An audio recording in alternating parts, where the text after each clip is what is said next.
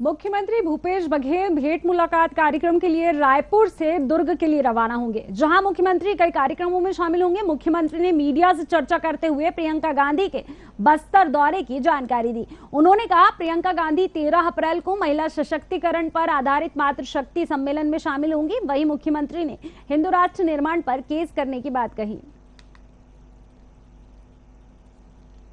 आज भेंट मुलाकात कार्यक्रम में दुर्ग विधानसभा जा रहा हूँ और मेरे साथ मोहम्मद अकबर जी हैं, और क्षेत्रीय विधायक अरुण बोरा हैं ही हैं। अब लगातार अब जो भेंट मुलाकात का जो दायरा था पूरे प्रदेश भर अब सिमटते जा रहा है। रायपुर, शहर, बिलासपुर, मुंगेली और कुछ धमतरी के इस प्रकार से बचे हैं। बड़ा अंतर आया है। आज देखो, छोटी सी बात